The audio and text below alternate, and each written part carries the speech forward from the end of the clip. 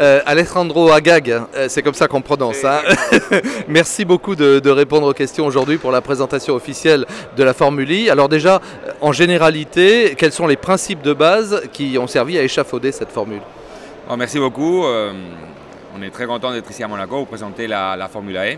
Formule E, son principe, il y a deux principes de base. Le premier, c'est que c'est une formule de voiture électrique, c'est-à-dire des voitures avec un sens d'écologie, de, de sustainabilité.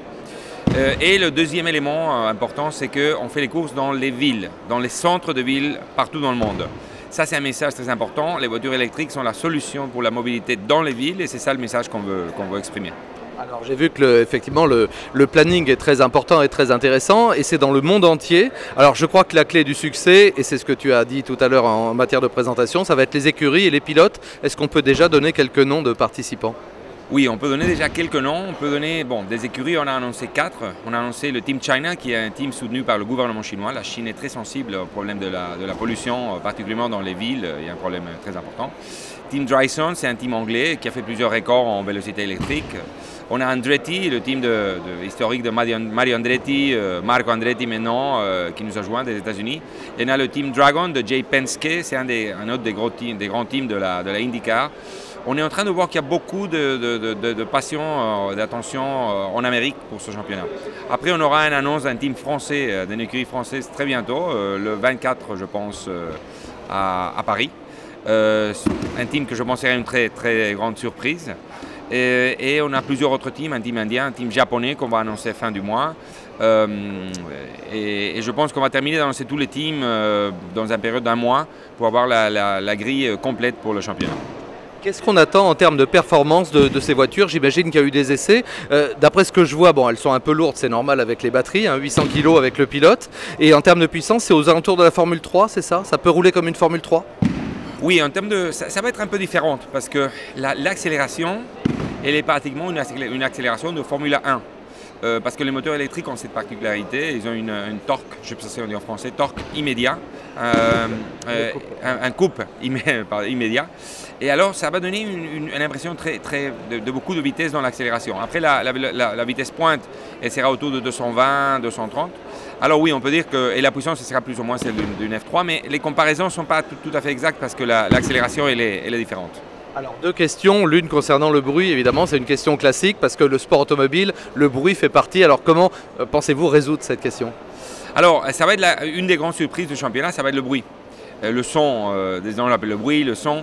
Euh, il y a un bruit, il y a un son très particulier les gens de McLaren, les ingénieurs qui sont en train de tester le, le moteur, c'est McLaren qui fait le moteur pour nous, nous ont appelé la semaine passée en disant vous allez voir le bruit quand vous l'avez l'entendre, ça va être, euh, vous allez être très surpris. Moi je ne l'ai pas encore entendu, mais dans trois semaines on va faire les premiers tests roulant avec la voiture et là on va entendre le bruit et on, on attend tous pour voir, mais, mais, on espère que ça va être un bruit, un bruit futuristique autour des 80 décibels, c'est-à-dire on peut parler avec la personne à côté, mais définitivement il y aura un bruit pour, pour avoir l'émotion de, de, la course. Alors autre petite question, là ça va être plus difficile, peut-être l'odeur, parce que parfois les sports mécaniques c'est aussi une question d'odeur. Vous avez prévu de vaporiser un petit peu de...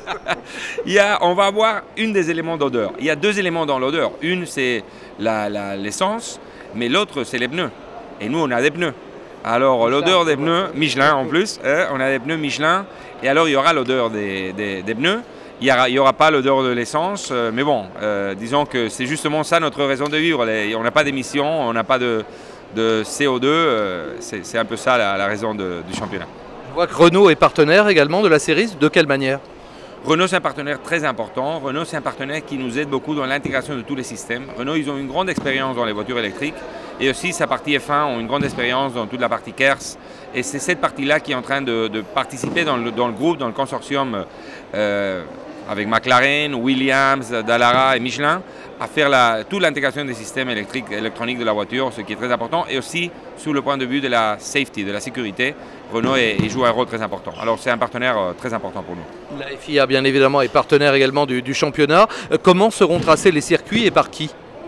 Alors, les circuits, on travaille avec cinq architectes différents parce que comme on doit faire 10 circuits dans le monde pour la première année, euh, un seul architecte ne euh, peut, pas. Alors on a pris pratiquement, sauf Tilke, qui, qui, est très dédié à la F1, on a pris tous les autres qui étaient sur le marché, qui ont fait des circuits euh, en ville, et chacun fait deux circuits. On a Rodrigo Nunes par exemple aujourd'hui qui a fait le circuit de Porto en ville à Hong Kong en train de finaliser le dessin des circuits de, Hong Kong. Et les circuits après sont construits par des partenaires locaux. Par exemple aux États-Unis, bon, on n'a pas encore lancé, c'est un partenariat avec un très connu équipe qui fait aussi des courses en ville, qui va faire nos courses aux États-Unis. Même situation en Chine, même situation en Amérique latine, on a des partenaires locaux qui délivrent la construction des murs et des, panneaux de sécurité du circuit. Dernière question, le calendrier est figé, donc début en septembre 2014, hein, c'est bien ça Début septembre 2014, début à Pékin. Euh, les deux calendriers ont sorti en même temps, euh, F1 et le nôtre, euh, au Conseil mondial, et on a vu que c'était le même week-end de Singapour F1. On va réfléchir peut-être à décaler d'une semaine au Pékin pour ne pas faire le même week-end. mais on commence septembre 2014 à Pékin. une dernière question finalement. J'ai vu que vous avez fait de la politique aussi dans le passé. Ça sert pour monter un championnat d'avoir été un homme politique? C'est très utile euh, d'avoir fait la politique, absolument. C'est une expérience, euh, je dirais, c'est beaucoup plus facile de faire un championnat que de faire la politique, mais l'expérience de la politique aide à organiser le championnat.